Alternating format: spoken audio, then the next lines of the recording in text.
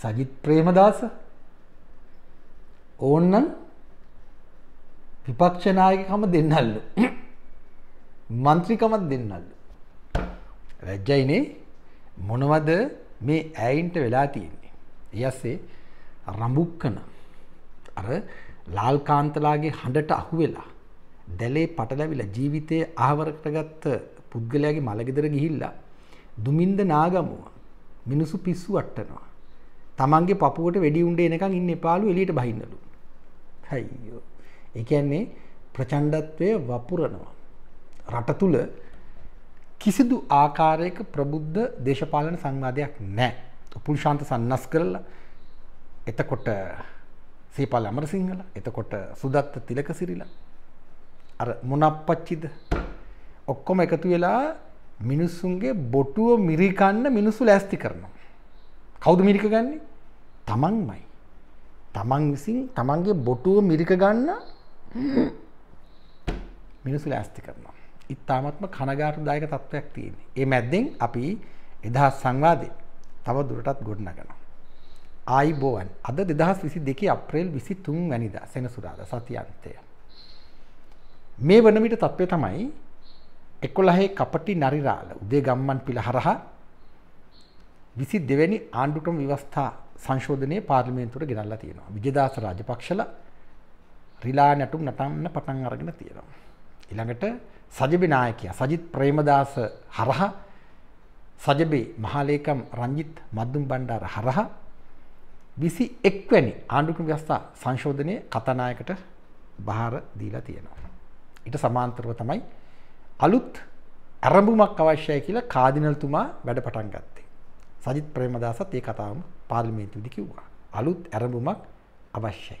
මේ සේරම කරලා තමයි සජිත් ප්‍රේමදාස දැන් තමන්ගේ විපක්ෂ නායකකම දෙන්න කතා කරන්නේ. බොරු බයිලා. ඊට පස්සේ කාදිනල්තුමා මේ ගමුවේ විවෘත වේදිකාවක කතා කරලා කිව්වා එදා පාස්කු ඉරිදා දවසේ සිද්ධ වෙන දේවල් බොරු බව. මොකක් හරි බොරුවක් තියෙන වගේ වචන වෙනස් Tamanට සැක හිතුණා කියලා. ඒ සැකේ දැන් ඇත්ත වෙලා තියෙනවා කියලා. එන්න එන්න කාදිනල්තුමා Tamanගේ ස්ට්‍රැටජි එක එකම දිශානතියකට සකස් කරගෙන සකස් කරගෙන යනවා. අර මුලින් කියපු කතා නෙවෙයි දැන් කියන්නේ. නිශ්චිත ඉලක්කයකට ගමන් කරනවා. මොකද ඉලක්කය? හිටපු ජනාධිපතිවරයා මෛත්‍රීපාල සිරිසේන පාස්කු ප්‍රහාරයට වගකිව යුතුයි. හරිනේ. ඒ පිළිබඳ විමර්ශන නොකරන අපරාධකරුවන් සඟවන දැන් ඉන්න විධායක ජනාධිපතිවරයා ගෝඨාභය රාජපක්ෂ මේ අපරාධයට වගකිව යුතුයි. දෙන්නම විධායක ජනාධිපතිවරු. ගෝ මෛත්‍රී ගෝ කියලා වැඩක් නැති නිසා ගෝ ගෝට ගෝ කියලා කියනවා. Gota go home Maithri go home කියලා වැඩක් නැහැ ගෝටා ගෝ හෝම් ඊළඟට ගෝටා ගෝ ගම වැඩ ගාලු මෝතර අද අර රඹුක්කන ජීවිතය ආවර කරගත්ත පුද්ගලයාගේ අවසන් ගමන් යන සිද්ධීන්ට සමාන්තරව ගාලු මෝදොරත් යකාම නැටුවා. ඒ අතර තවත් සිද්ධියක් වෙනවා ඊටාම වැදගත්. එය ඊය රෑ වුණාද පෙරේද රෑ වුණාද කියලා දන්නේ නැහැ සමාජ මාධ්‍ය තුල සැරිසරන වීඩියෝ පටයක් හිරු ප්‍රවෘත්ති වලින් දැක්ක 655. දෙපිරිසක් අතර ගැටුමක් ගාලු මෝදොර. පොලිසියට ගිහිල්ලා කියනවා බලන්න පිටින් කට්ටියක් ඇවිල්ලා කලබල කරනවා නීති ක්‍රියාත්මක කරන්න කියලා. පොලිස් නිලධාරීන් සද්ද නැතුව ඉන්නවා. ඔවුන් මගාරිනවා. ඇයි යන මගාරින්නේ? මගාරිනවා. රඹුක්කන සිද්ධිය දිහා බලාගෙන කිසිම පොලිස් නිලධාරියෙක් දැන් නීති ක්‍රියාත්මක කරයිද? ආණ්ඩුවට අපි බය නැහැ කියලානේ කියන්නේ. එතකොට ආණ්ඩුව කියලා කියන්නේ මොකක්ද කියලා කියන අය දන්නේ නැහැ. අවසන් විග්‍රහයේදී මේ කියන්නේ රාජ්‍ය ගලපල්ලා කියලා. අපට රාජ්‍ය නියාමනයක් ඕනේ නැහැ කියලා ඔය කියන්නේ. එතකොට Tamanට කෙලවෙනකොට කවුද වග කියන්නේ? ඒ ගාලු මුදුර සිද්ධිය බරපතල සිද්ධියක්. නීතිය කඩා වැටලා නීති ආධිපත්‍ය කඩා වැටලා යම් පමණකට හෝ කළමනාකරණය වෙච්ච රාජ්‍ය සම්පූර්ණයෙන්ම අවතැන් වෙන ඉඩ තියෙනවා. පාතාලයින්ගේ රටක් බවට පත් වෙන හොඳටම ඉඩ තියෙනවා. හොඳට මතක තියාගන්න. මේ යන යෑමේ හැටියට ඉතාමත්ම අනතුරුදායක තත්ත්වයක් අප ඉදිරියේ තියෙනවා. එක්තරා වෛද්‍යවරයෙක් මට කතා කරලා කිව්වා ඔහුට ප්‍රතිකාර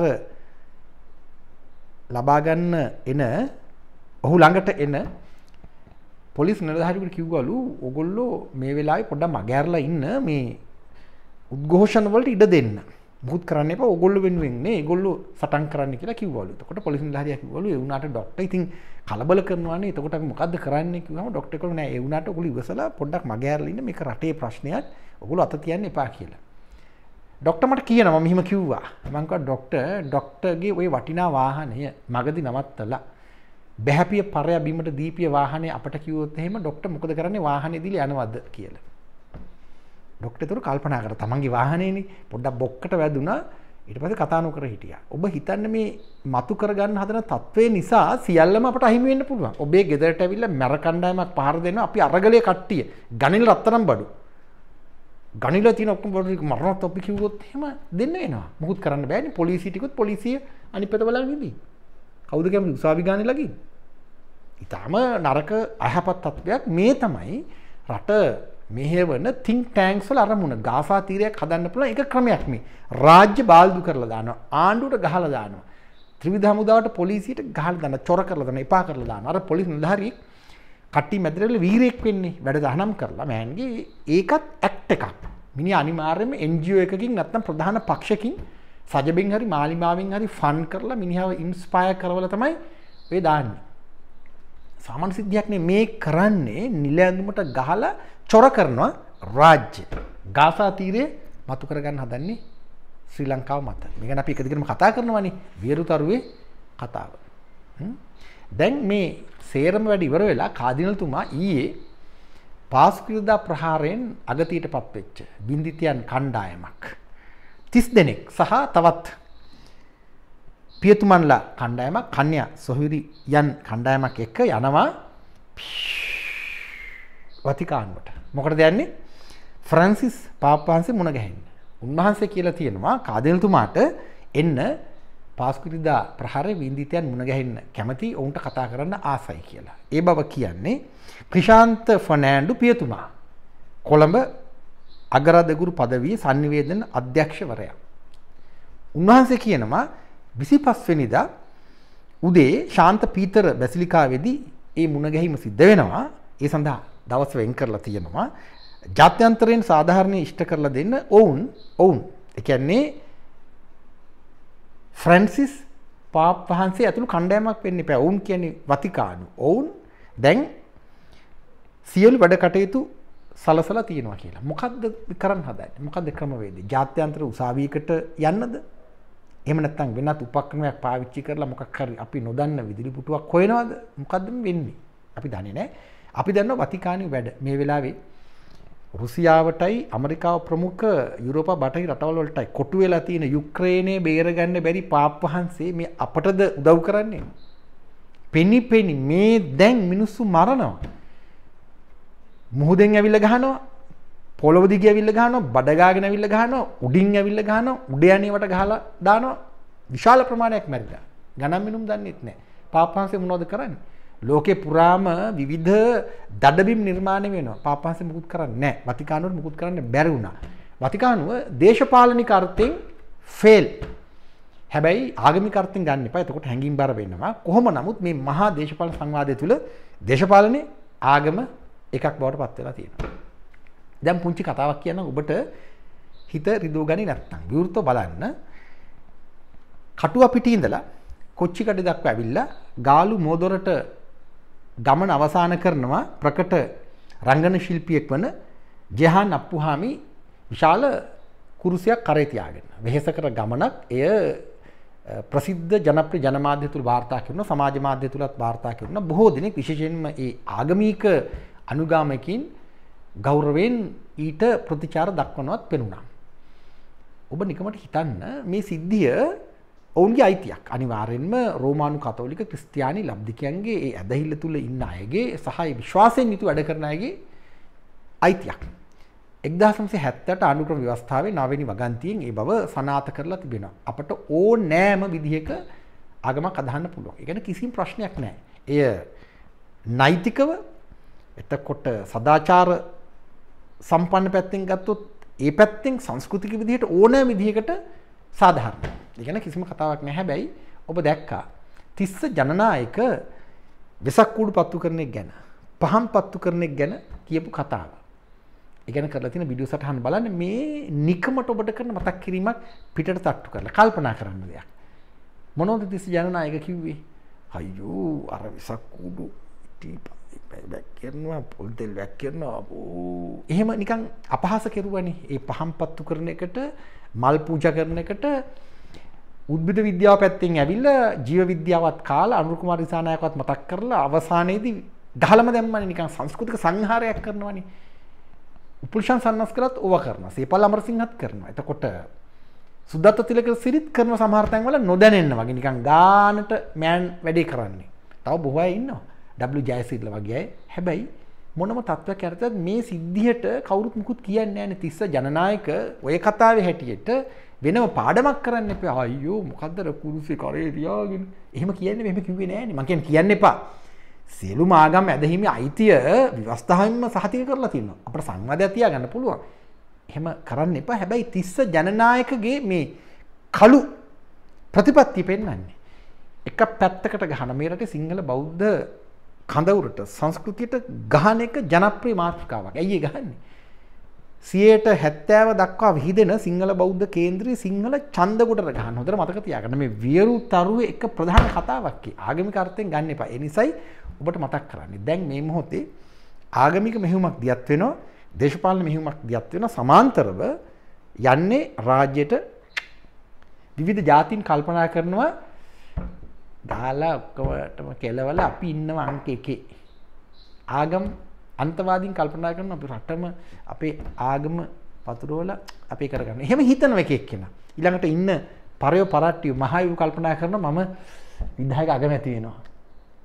මම තමයි ඊළඟ විදායක අගමැති. ඔහොම හිතනවා. මේ නොදියුණු ගෝත්‍රික පසුගාමි පාදඩ පීචක් මනෝභාවය තුළ තමයි අපේ රටට කෙලවෙන්නේ. අපේ ආදරණීය අම්මාට කෙලවෙන්නේ. මේ තියෙන්නේ චීන්නු, ඇමරිකානු, ඉන්දියානු හදන හදන රට මතක තියාගන්න. 2050 දී. අපේ සටන ඊට එරෙහිව.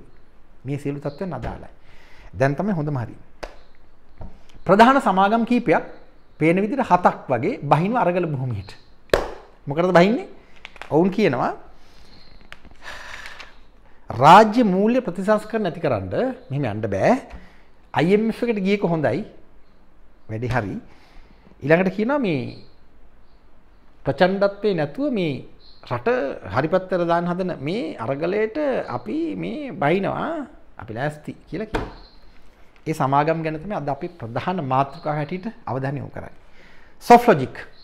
අහලා තියෙනවනේ සභාපතිවරයා කල්මනාකර අධ්‍යක්ෂවරයා අශෝක් පතිරගේ අශෝක් පතිරගේ කියනකොට මතක් වෙන්නේ මොකද්ද? PCR ඇන්ටිජන් කොවිඩ් ජාවාරම දිලිත් ජයවීර අශෝක් පතිරගේ චන්න ජයසුමන අපි පට්ට ගැහුවනේ. චාපාටු ඕකම් කොවි වැඩසටහන් මාලාවක් සමහර වැඩසටහන් දැන් මිසින් ඉන් ඇක්ෂන් channel එක දෙපාරක් හැක්කුණානේ ඒ වායෙත් දානවා. ඒ අශෝක් පත්‍රිකේ තමයි මේ අශෝක පත්‍රිකේ. අරගල භූමියට ඇවිල්ලා අරගලය වෙනුවෙන් පෙනී හිටිනවලු. 2019 දෙසැම්බර් 17 වෙනිදා ශ්‍රී ලංකා න්‍යායාලයින් සභාපතිවරයා විදිහට පත් කෙරුවේ ජනාධිපති ගෝඨාභය රාජපක්ෂ. තවම ඒ ධූරේ ඉන්නවා. මොනවද මේ වීලු කතා. එහෙම ගත්තොත් අනිවාර්යයෙන්ම පේනවා මේ අරගලය හෙවත් කානිවල් එක හෙවත් ගෝඨා ගෝගම හෙවත් ගෝඨා ගෝ හෝම් වැඩේ ගෝඨගෙම තමයි. ගෝඨ දන්නවද නැද්ද? දන්නේ නැහැ. ඉරලවන්ට්. කට විතරක් තියෙන හැඟීම් දැනීම ඇති කොටයක්නේ. රනිල් වික්‍රමසිංහ සජිත් ප්‍රේමදාස අනුරුකුමාර දිසානායක පාටලි චම්පික රණවක රංජන රාමනායක ඔක්කොම කොට කටක් විතරයි තියෙන්නේ. මොකුත් නැහැ. එතකොට ඒ අනුව දන්නවද නැද්ද? ඉරලවන්ට්. හැබැයි මේ පැත්තෙන් ගෝටව නටෝනවා සජිත්ව නටෝනවා අනුරව නටෝනවා පාටලීව නටෝනවා කාදිනතුමාව නටෝනවා හරින් ෆොනෑන්ඩු නටෝනවා එතකොට තව ඉන්නවා සෙට් එකක්ම මනුෂ්‍යනානයක් කර නටෝන ඔය හැම එකම නටෝනවා නටවලා ගේම් එක ප්ලේ කරනවා අපි කතා කරන්නේ ගැන. එතකොට සොෆ්ලොජික් සභාපතිවරයා කළමනාර අධ්‍යක්ෂවරයා විශේෂ නිවේදනයක් එහෙම නිකුත් කළා මොකාටද මේ එන්න හදන්නේ. රට ගැන හැඟීමක් තියෙනවා නම් මෙහෙම වැඩ කරනවා. කල්පනා කරලා බලන්න. රට ගැන හැඟීමක් නෙවෙයි නිකන් කල්පනාවක් මේ රට තිබ්බොත් තමයි මට පවතින්න පුළුවන් කියලා හිතනවා නේද? රටක් නැත්නම් Taman නැහැනේ. එහෙමවත් හිතන්නේ නැති ව්‍යාපාරිකයෝ අරගලයට සහාය ලබා දෙනවා. ඩයලොග්. උපරිම ලාභ ලබන මේ මොහොතේ උපරිම ලාභ ලබන ආයතනයක් දැඩි කනස්සල්ලෙන් ඉන්නේ. අපි හිතමු කොව් කියලා. 1993 MTN network private limited Malaysian කේන්ද්‍රීය සමාගම පටන් ගන්නකොට 10%ක් කැපිටල් මහරජාගේ. ගම්මැද්ද ඉන්ටර්නැෂනල් මතකනේ අපේ ජලයට කෙලලා වැව් ටික අල්ලගෙන අපට ගේම දෙන්න හදන්නේ කැපිටල් මහරජා. ඒ කතන්දර වෙනම කොහොම හරි කැපිටල් මහරජාගේ 110ක් පටන් ගන්නකොට තියෙනවා. දැන් ඉතින් වෙනම හොයන්න ඕනේ. කේස් ස්ටඩි එකක් කරන්න ඕනේ. ඒ මොහොතෙත් මේ මොහොතෙත් එක දිගට මේ සමාගම ඉන්නවා ආචාර්ය හාන්ස් විජේසූරිය. ටිකක් ප්‍රකට නමක්. හාන්ස් විජේසූරිය. නම මතක තියාගන්න. Doctor Hans Wijesuriya. John Keells ඊළඟ සමාගම. හාන්ස් විජේසූරිය මේ සමාගමෙත් අධ්‍යක්ෂ මණ්ඩලේ ඉන්නවා. එතනත් හාන්ස් මෙතනත් හාන්ස්. ඊළඟට ඉන්නවා අශ්රෆ් ඔමාර් මතක තියාගන්න. අශ්රෆ් ඔමාර් කියන්නේ ඊළඟට ඉන්නවා කොහෙද? බ්‍රැන්ඩික්ස් අධ්‍යක්ෂ මණ්ඩලය මේ එකම කණ්ඩායමක් තැන් තැන්වල විවිධ රට පොඩි නීතින් විවිධ තැන්වල ගේම් එක ප්ලේ කරනවා. වැඩි කියන්නේ ජෝන් කීල්ස් කියනකොට මතක් වෙන්නේ කාවද? පීබී ජයසුන්ද ආර්ථික ඝාතකයා දැන් ගෙදර ගිහිල්ලා බට් දශක දෙක තුනක් තිස්සේ රට කාපු ආර්ථිකය ඝාතනය කරපු එකෙක් පිබි ජයසුන්දර දැන් ගෙදර ගිහිල්ලා නිවිහැනිලා ඉන්නවා ඇති එක්කෝ තිරේ පිටිපස්සේ ඉඳලා වැඩේ මෙහෙමනොත් ඇති අපි දන්නේ නැහැ. පිබි ජයසුන්දර ආර්ථික ඝාතකයා 2008 දී හෙළිදරව් වෙනවා. ශ්‍රේෂ්ඨාධිකරණයේදී බරපතල ගනුදෙනුවක් ගැන. ජෝන් කීල්ස් ආයතනයට සම්බන්ධ. වාසුදේව නානායක්කාර දාන මූලික ඇතිවාසිකම් පෙත්සමකින් තමයි කරුණු හෙළිදරව් වෙන්නේ. මේ පෙත්සම SCFR 209 ඇලයිරක් 207 අන්තර්ජාලයේ තිබෙන අධ්‍යයනය කරලා බලන්න පුළුවන් ඔබට අදාළ තීන්දුව. තීන්දුව ලබා දෙන්නේ විමර්ශන කටයුතු කරන්නේ ඒ දවස මහා බලවත් තැනක ඉඳගෙන හොද්දටම ප්ලේ කරපු අග්‍ර විනිශ්චයකාරවරයා සරත්නන්ද සිල්වා. ඊට පස්සේ එහෙට මෙහෙට මාරු වෙලා දැන් කොහෙ ගියාද නැහැ. මිසිනි නැක්ෂන් සරත්නන්ද සිල්වා. අන්තිමට ජෝක් එකක් කරලා දැම්මා රටේ නීතිය නීති ආධිපත්‍ය අධිකරණ පද්ධති ඉවරම කරලා දැම්මා. සරත්නන්ද සිල්වා මේ නඩු තීන්දුව ඇතුළේ කියලා තියෙන කතා බලන්න පැහැදිලි අපරාධයක් සිද්ධ වෙලා තියෙනවා. ආර්ථික අපරාධයක්. හැබැයි ගත්ත පියවරක් නැහැ. මොකද්ද අපරාධය? සිලෝන් පෙට්‍රෝලියම් කෝපරේෂන් අර්ධරාජ්‍ය ආයතනයට අයත් ලංකා මෙරයින් සර්විසස් ලිමිටඩ් වරායට අදාළ භූමියේ තිබෙන අතිශය තීරණාත්මක වෙළඳ දැන් තත්ත්වයන්ට අනුව මිලිටරි මරමස්ථානයක්. මිල කරන්න බැරි තරම් මේ අත උඩින් බලලා. දැවැන්ත තැනක් මේ තැන මේ මහා දේපොළ නිකං අත ඇටින් වගේ විකුණලා දානවා. ඒ ගනුදෙනු හරියට පැහැදිලි නෑ. නිකම්ම විකුණලා දානවා. පිබි ජයසුන්දර කාටද? ජෝන් කිල් සායතනයට. පිබි ජයසුන්දර කියන්නේ මුදල අමාත්‍යාංශයේ කාපු එහි ලේකම්වරයා.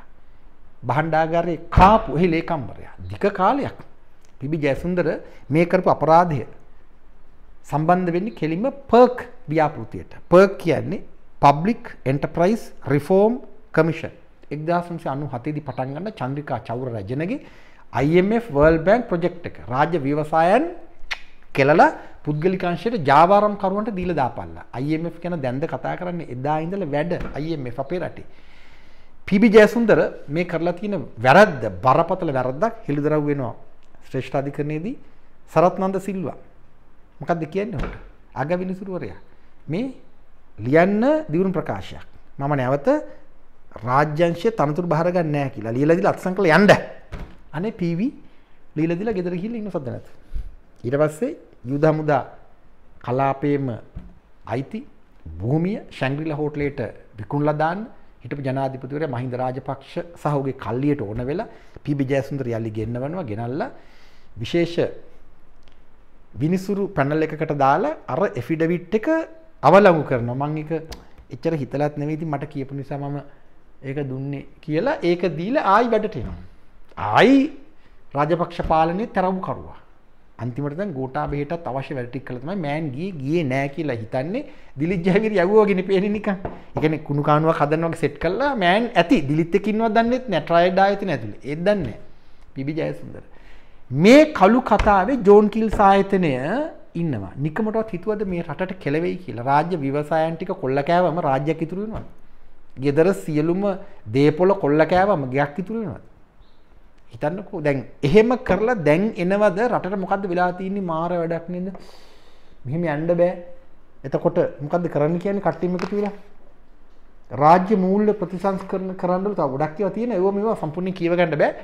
ඒවා අපි දැන් කියවගන්නේ ප්‍රවෘත්ති හරහා විකාශ වෙච්ච කොටස් වලින්. සම්පූර්ණ කතාවත් කියවන්න ඕනි වැඩක් නෑ ඉතින් නමුත් දැනගන්න ජෝන් කීල්ස්. ඔන්න ජෝන් කීල්ස් කතන්දරේ. මට අවස්ථාවක් ලැබෙනවා ජෝන් කිල් සායතන සම්බන්ධ සිනමන් හොටෙල්ස් යාල ඉඳලා ත්‍රිකුණාමලේ දක්වා ඒ හෝටල් ජාලයේම වැඩසටහන් මාලාවකට සම්බන්ධ වෙන්න. මම උත්සාහ කිරුවා වෘත්ති මට්ටමින් වැඩ කරන ගම මම මාධ්‍ය සහ මානව සම්බන්ධතා උපදේශකවරේ ක්‍රියාකාරීකයෙක් හැටියට වැඩ කරන හින්දා එවැනි අවස්ථා ඕනම තැන ගන්නවා. අරගෙන මේ සංවාදයත් ගොඩනගන්න උත්සාහ කරනවා. ඔවුන්ට අවශ්‍ය වුණේ ශ්‍රම බලකාය සහ බිත්තියෙන් එහා පැත්තේ සාමාන්‍ය සමාජය අතර හොඳ සම්බන්ධයක් හදන්න සමාජයේ දියුණුවොත් තමයි සමාජයේ පවතිනවා නම් තමයි ආයතන පවතින්නේ කියන මූලික පදනම මත. හරිනේ. ඒ නිසායි මම කැමති වෙන්නේ. මම ගිහලා උත්සාහ කරනවා අවසන් සාකච්ඡාවෙත් ඒ ගැන සෑහෙන මම කතා කරන වැඩක් වෙන්නේ නැහැ. ඒ සංවාදේ ගොඩ නැගෙන්නේ නැහැ. ඒ ඉතින් ඔවුන්ගේ අයිතියක් ඒ ව්‍යාපාර වමනාවක්නේ. හැබැයි යෝජනාව කිසිම ආයතනයකට පවතින්න බෑ පොදු සමාජය නොසලකා හැරලා.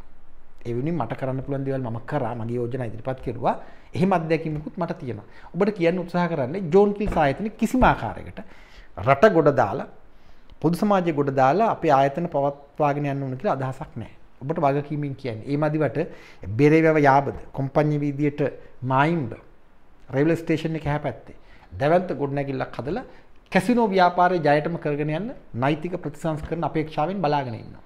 ධම්මික පෙරේර තමයි මම හිතන්නේ බැරිගිර එකක් දාගෙන ඉන්නේ අපිට නැති දේවල් උඹලට දෙන්නේ නැහැ. අපේ තමයි බිස්නස් එක වගේ මොකක් හරි මණ්ඩල කචල්ලයක් ඇති. හැබැයි ඒක හදාගෙන දන්නෙත් නැහැ. මෙහෙම දීලා කැසිනෝ ගහන්න හදන්නේ රාජ්‍ය දුර්වල කරලා. හිතන්නකෝ රාජ්‍ය ශක්තිමත් නැහැ. ත්‍රිවිධ හමුදාව පොලිසිය ඔත්තු සේවාවන් සියල්ලම ඉවර කරලා චොර කරලා දාලා කොම්පඤ්ඤි විදි කැසිනෝ ක්ලබ් එක පටන් ගත්තොත් කොහොමද? කෙළඹෙලා යනවා. මුළු කොම්පඤ්ඤි විදියම නෙවෙයි කොළඹම නෙවෙයි රටම සූදු පොලක් වෙලා එකිනෙකා මරාගෙන දඩ බිමක් බවට පත් වෙන මේ රට. ජෝන් කිල්ස් ආයතන මේ ගැන හැඟීමක් නැහැ. තමන්ගේ ව්‍යාපාර විතරයි. ජෝන් කිල්ස් කියනකොටම ඊළඟට මතක් වෙන්නේ මොකද්ද? කොළඹ වරාය. කොළඹ වරාය නැගෙනහිර පර්යන්තය පෙන්නලා බටහිර පර්යන්තය ගෞතම අදානිට අදානි සමූහ ව්‍යාපාරයට ඉන්දියාවට මෝඩිගේ කැදැල්ලට දෙන්න හදන කතාවේ ජෝන් කිල්ස් ඉන්නවා. පිබි ජයසුන්දර තමයි ඒකත් සම්බන්ධ කරන්නේ. පිබි ජයසුන්දර තමයි මැද්දෙන් ඉඳගෙන සියලුම තරවුකාර වැඩ ටික කරන්නේ. මිනිහට අනිවාර්යයෙන් මෙහිම මුදල් හම්බ වෙන්නේ නැති. බොහෝ දෙනෙක් කියනවා. පිබි ජයසුන්දරගේ හොරා කාපු ධනෙ සැඟ වූ ධනෙ ජෝන් කිල්ස් ආයතනේ හංගලා ඇති කියලා. අපි දන්නේ නැහැ. ඒ ගැන හොයන්න ඕනේ. ඉතිහාසය තුල මේ නඩුව අපට විසඳා ගැනීමට තියෙනවා. ජෝන් කිල්ස් ආයතනය සහ පිබි ජයසුන්දර අතර තිබෙන රහසිගත සම්බන්ධතාව මොකක්ද? එහෙම එකක් තියෙනවද නැද්ද? අපි ඒ ගැන විමසනවා. ওই කතාව එහෙමම තියෙද්දි ඊළඟට තියෙනවා හේමාස් කියන ආයතනය CBL සිලෝන් බිස්කට් ලිමිටඩ් ඒ ආයතන දෙක ගැන පුද්ගලික අත්දැකීම් මට නැහැ. හේමාස් කියන ඖෂධ ව්‍යාපාරයක්. එතකොටම යලි ඖෂධ ජාවාරමක් මාෆියාවක් කතා මැද කතා අපි දන්නේ නැහැ. ඔවුන් මේ අරගලය කියන කානිවල් එකට බහලා මොකද්ද කරන්න හදන්නේ? ඊළ කාගේ උමනාවක්ද? කාදිනතුමා වතිකානුවේ එතකොට මේ පැත්තෙන් පාර්ලිමේන්තුවේ රිලා නැටුම් නටනවා. සජිත් ප්‍රේමදාස විපක්ෂ නායකකම දෙන්න හදනවා. 21 22 ගෙනල්ලා විධායක ජනාධිපතිතුරුවට කිලින් හදනවා. ව්‍යාපාරික සෙට් එකක් බහින්න අපිත් එනවා. අවශ්‍ය නම් අරගලය වෙනුවෙන් හිට ගන්න කියලා. අදාහ ගන්න බෑ. එකිනෙක අතර නොගැලපීමක් තියෙනවා. ඒ නිසායි මේ යෝජනාව ඔබට කරන්නේ. ඊළඟට බ්‍රැන්ඩික්ස් අර කලින් කිව්වේ. එතකොට අශ්රෆ් ඔමාර් කියනකොට මතක් වෙන්නේ රනිල් වික්‍රමසිංහ. රනිල් වික්‍රමසිංහගේ එක අතක් අශ්රෆ් ඔමාර් එක අතක් මිලින්ද මොරගොඩ 2005 දක්වා අතීත කාලේ. ඊට පස්සේ වැඩි එහෙම දැක්කේ නෑ ප්‍රසිද්ධියේ. ඔවුන් තමයි එකට රනිල්ව දිනවන්න වැඩ කරගෙන ඉන්නේ දෙපැත්ත ඉඳගෙන. දැනුතේ සම්බන්ධතා ඇති. මිලින්ද මොරගොඩත් එක්ක තියෙන සම්බන්ධතාව තමයි අශ්රෆ් ඔමාර් රනිල් දේශපාලනයට තල්ලුව දෙන්න බලපාන්නේ. ඔවුන් එක කල්ලියක්. ඒ අනුව මේ සිදුවීම් සියල්ල වෙනම සාකච්ඡා කරන්න ඕනේ ඊළඟට ඔබට මතක බ්‍රැන්ඩික්ස් පොකුර කොවිඩ් සෑහෙන ප්‍රමාණයකට ශ්‍රී ලංකාව කළමනාකරණය කරගන්නවා. ත්‍රිවිධ හමුදාව පොලිසිය අනෙක් සහායක ආරක්ෂක කණ්ඩායම් බුද්ධ්‍යංශය විශේෂඥ වෛද්‍යවරු වෛද්‍යවරු හෙද සේවාව පරිපූරක සේවාව වෛද්‍ය සහාය කණ්ඩායම් එතකොට මහජන සෞඛ්‍ය පරීක්ෂකවරු ඇතුළු විශාල පිරිසක් ජීවිත පරිත්‍යාගී වැඩ කරලා කොවිඩ් යම් පමණකට කළමනාකරණය කරගන්නවා. එතකොට මේ එන්නත් සෙල්ලමත් නැහැ. ඒ ASCII තමයි PCR ඇන්ටිජන් හෝටල් නිරෝධායන සෙල්ලම අර කල්ලිය කරන්නේ.